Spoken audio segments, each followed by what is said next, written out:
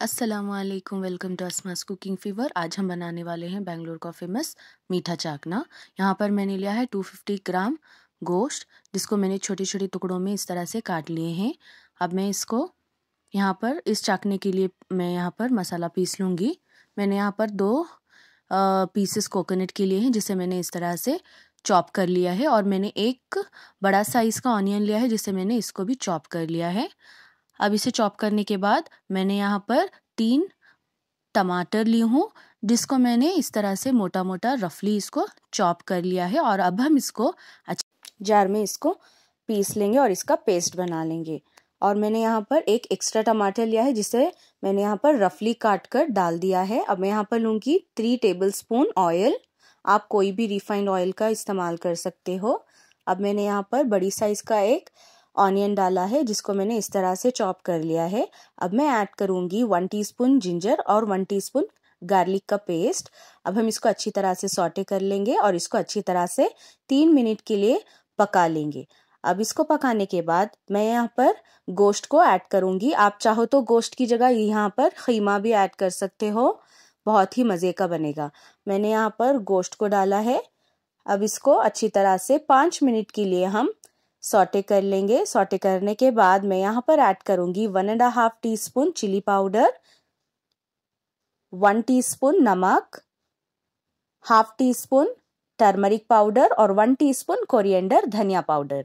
अब मैंने यहाँ पर garam masala half teaspoon add किया है और इसको अब हम अच्छी तरह से मिक्स कर लेंगे और इसको पाँच से दस मिनट के लिए इसको कुक होने के लिए रख देंगे। और मैंने यहाँ पर आसानी तरीके से इसको कुकर में पका लिया है। इसको हम विसल दे देंगे और अब मैं ऐड करूँगी यहाँ पर टमाटर का प्यूरे, जो हमने खोपरा टमाटर को पीस कर रखा था। अब हम इसको अच्छी तरह से मिक्स कर लेंगे और मिक्स करने के बाद हम कुकर का लिड बंद कर देंगे और इसमें दो विसल आने तक गोश्त को अच्छी तरह से गला लेंगे।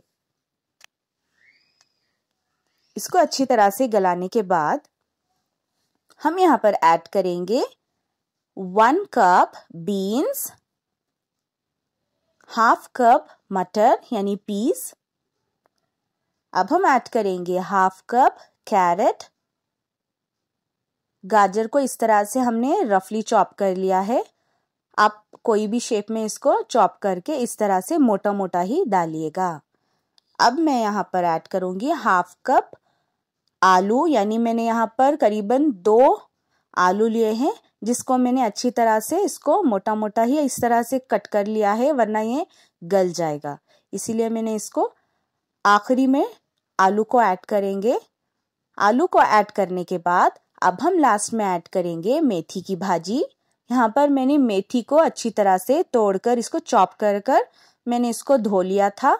इसको धोने के बाद हम आखिरी में इसको ऐड करेंगे। इसको ऐड करने के बाद अब फिर से हम इसको कुकर को बंद करके अब हम इसको एक विसल के लिए पका लेंगे, क्योंकि वेजिटेबल्स है तो बहुत जल्दी गल जाएँगे। मैंने यहाँ पर वन ग्लास वाटर ऐड किया है। पानी ऐड करने के बाद आप इसको अच्छी तरह से मिक्स कर लें।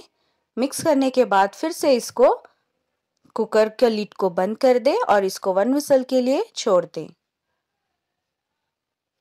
आप देख सकते हैं, ये पक चुका है। पकने के बाद अब हम यहाँ पर इसको सर्विंग बाउल में सर्व कर देंगे। आप इसको रोटी, चावल या फिर चपाती के साथ इसको सर्व कीजिएगा। और मेरे चैनल को सब्सक्राइब करें। Thank you